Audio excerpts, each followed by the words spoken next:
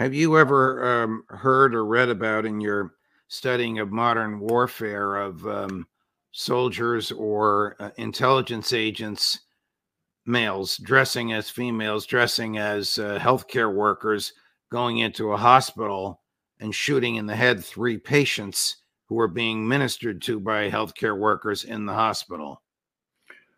I've never heard of an instance of that, and uh, I'm not surprised that the Israelis did it. Uh, I think the Israelis don't pay any attention, any serious attention to the rules of war. And they think they can do pretty much anything they want and get away with it because the United States will protect them. And I also think that, I mean, one of the things I find most disturbing about watching what's happening in Gaza is it's, it's not just simply the killing. Uh, I mean, that's categorically depressing, don't misunderstand me, but it's also just the cruelty that's involved here the Israelis seem to take a certain joy in inflicting punishment, inflicting cruelty on the Palestinians. And uh, it's just horrible uh, what's going on.